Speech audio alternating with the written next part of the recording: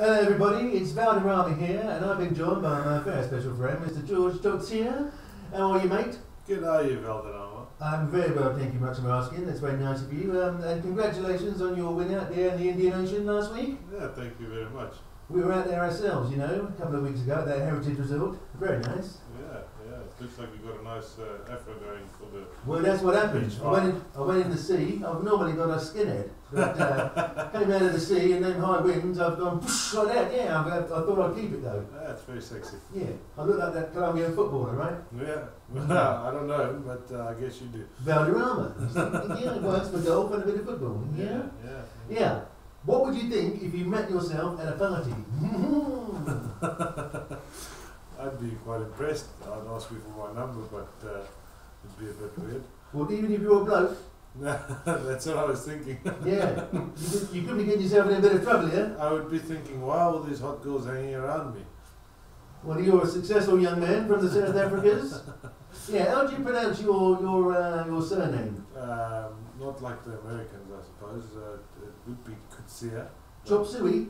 Mr. Chop Yeah, David Thomas always said I sound like a Mexican drug lord, uh, Jorge Bowtie Cortez. That's very nice. You watch Breaking Bad? Uh, no, but I've watched one or two episodes. Yeah, there's a lot of that crystal meth going on there. You don't want to get involved with that, mate. No, no. Not good for you.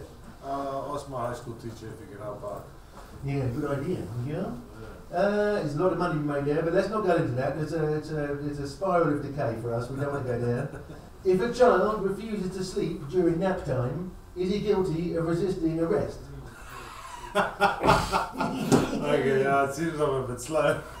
yes, he is. He is, isn't he? Yes, definitely. Yeah, you get a clip round the ear for that. Yeah. Yeah. Can animals commit suicide? Ah, no. Yes. I don't know. I don't know. It's a difficult one, isn't it? Because you, they'd have to be depressed or something first, wouldn't they? Do they get depressed? I don't know. I would be depressed. I would be depressed if I was an animal. Why is that then? I don't know. th th there's no hot girls in the kingdom. You know, there's no bikinis. Uh, everything's just out in the open. Well, There's yeah, no but- surprises. If you're a hot ferret, you're going to attract uh, other ferrets, aren't you? but I, I, I don't like ferrets.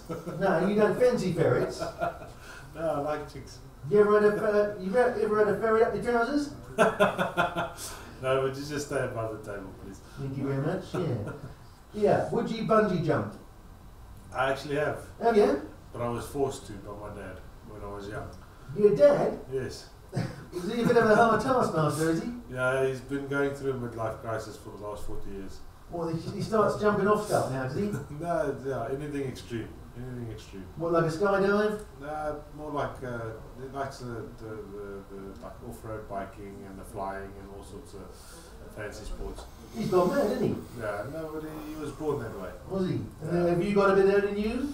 Yeah, but I, I, I'm a little too clever for him, I think. Uh, I know, like, I'm not afraid of heights, I'm afraid of falling. So bungee jumping is definitely not on my list.